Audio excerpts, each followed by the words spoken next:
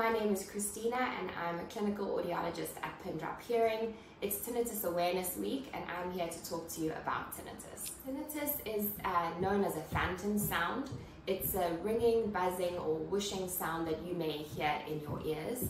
Um, it's actually a sound that your brain is creating in response to something that may be happening inside the ear. There are a number of different causes for tinnitus. Uh, some may include having an ear infection, having wax in the ear. The most common association with tinnitus is a hearing loss. Uh, noise exposure and damage to the outer hair cells um, may also result in experiencing some tinnitus. Um, there are other factors that may lead to tinnitus, like being on a specific type of medication, um, head trauma. There's a variety of different causes. There's no way to guarantee 100% that you will not suffer from tinnitus.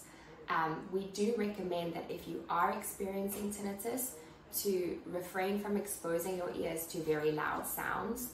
That can make the tinnitus worse, especially if you have a hearing loss as well as tinnitus.